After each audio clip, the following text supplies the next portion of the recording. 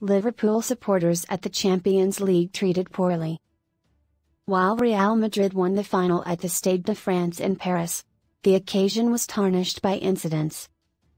As massive queues formed amid a distinct lack of security and organization, supporters were shoved up against a barred gate, demanding for individuals to sort out the issue and let them in. Tear gas and pepper spray were employed by riot police, and supporters were concerned for their safety. Fans were forced to wait up to four hours to walk the 10 minute distance from the nearest station to the stadium entrance, where they were physically and verbally harassed. UEFA issued a statement blaming Liverpool fans for the chaos, citing the fact that thousands of people showed up with bogus tickets, but O'Hara believes it's not good enough.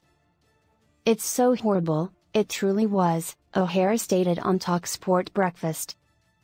It really ruined the Champions League final in my opinion just watching it and listening to it.